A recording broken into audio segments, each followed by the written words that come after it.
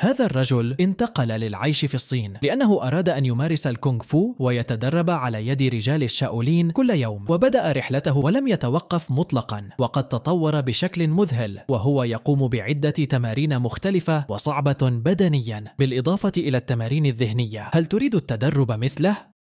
لا تمسك هذا السكين بدون القفازات ولكن ما السبب؟ وهو سكين من الزجاج البركاني أو الأوبسيديان وهو حجر بركاني ويتشكل عندما تفقد الأحجار البركانية حرارتها بصورة سريعة وتكون هذه السكاكين حادة للغاية وهو يفوق عدة سكاكين التي نستعملها في حياتنا اليومية عند مقارنته بها لدرجة عندما تجرح نفسك به لن تدرك هذا الأمر ولا يستعمل هذا النوع من السكاكين في الطهو وذلك نظرا لطبيعة تكوينها تكوينها. يقوم هذا المعلم بمحو هذه الرسمة الرائعة ولكن لديه سبب لفعل ذلك فهو يقوم بالتحضير للرسمة التالية لأن شغفه هو رسم لوحة جديدة في بداية كل شهر وباستعمال الطباشير فقط ويبدأ برسم خطوط بسيطة ثم يضيف التفاصيل للوحة تدريجيا. وعند انتهائه منها تبدو كلوحة من متحف فني مما يظهر حجم موهبته المميزة. يبدو بأن هذه الأسماك فازت في اليانصيب لأن هذا الشخص قام ببناء جزيرة مصغرة كحوض للأسماك الصغيرة وفيها العديد من الشلالات والكهوف تحت الماء وتبدو متشوقة لاكتشاف منزلها الجديد ويتم الترحيب بهم من قبل جيرانهم أيضا. لهذا الرجل قوة رهيبة ويمكنه كسر حبات البندق بأصبعه فقط أو تمزيق قارورة المشروبات بالكامل باستعمال قبضته. وسبب قوته الخيالية هو تدريباته الغير مألوفة. وهذا ما حدث عندما حاولا أقوى رجلان القيام بنفس الأمر الذي يقوم به.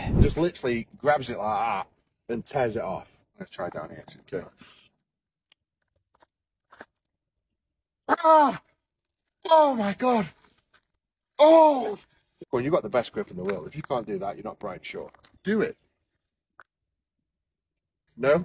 Fair play, brother. Yeah, yeah. Fair play. عندما تعطلت دراجة هذا المتسابق في منتصف السباق قرر فريقه إصلاح الدراجة وبدون توقف وتضييع الوقت الثمين وتمكن هذا الرجل من إصلاح الدراجة في ظرف قياسي وبسبب ذلك تمكن من متابعة السباق مباشرة لهذا الفتى ذو السبعة عشرة سنة أكثر السواعد جنونا التي يمكنك رؤيتها لأنه يتمرن تقريبا كل يوم وعند مشاهدة هذا ستدرك حجم عمله الدؤوب ومثابرته. هذا الفتى شجاع للغاية وهو يحاول الإمساك بسمكة سلور عملاقة وباستعمال يديه فقط وسيدهشك حجم هذه السمكة. وحتى بعدما عضته في قدمه هو يلاحقها تحت هذه الصخرة والبحث عنها. Dude, that fish straight up swallowed his foot. وبعد غطسه لعشر ثوان تمكن من الإمساك بها وسحبها وتفاجأوا جميعهم بحجمها الضخم بحيث كانت قريبة لحجم الفتى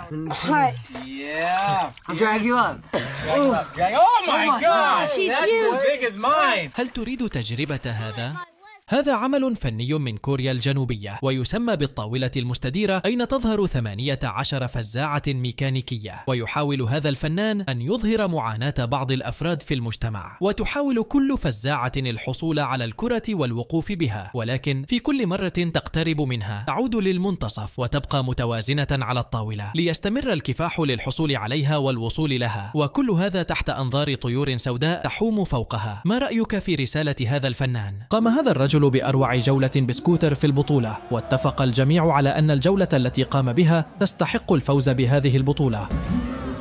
وقام بشقلبتين للوراء وهو أمر خطير وصعب للغاية ليصبح الأداء بعدها أكثر تشويقا. وانتقل للقيام بسلسلة من الحركات المثيرة للإعجاب والتي لا تحتمل الخطأ لأنه في حالة سقوطه ستخصم النقاط وقد يصاب بأذى بالغ. وهذا نظرا لمستوى الحركات التي يقوم بها. ليواصل أداءه المذهل وينهي جولته بقوة جعلت كل المتابعين في صدمة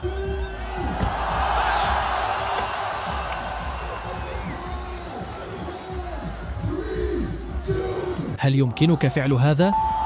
هذا الرجل كان على وشك الغرق بعدما دفعه صديقه لقاع المسبح وهو يحاول الصعود للأعلى ولكنه يتحرك لمسافة صغيرة فقط لأنه في حالات الهلع يصبح الجسد ثقيلا. لهذا عليك دائما محاولة البقاء هادئا في الظروف المماثلة. هذا الرجل محترف في تجذيف زوارق الكاياك ويستعمل هذه الآلة ليساعد المختصين في معرفة مستويات الأكسجين عند ممارسته لهذه الرياضة ولتحسين أدائه. وهذا ما يبدو عليه عند ممارسته لهذه الرياضة. هذه أغرب طريقة لإعطاء إكرامية وهم يخرجون أموالهم أثناء قيامه بهذه المجازفة وهي القيادة بالدراجة على هذا الجدار بشكل أفقي ويبدو بأن هذه الطريقة أثبتت نجاحها لأن العديد من المشاهدين يريدون رؤيته وهو يمسك بأموالهم أثناء تأديته للمجازفة ويمكنك مشاهدة سرعة إمساكه بالنقود.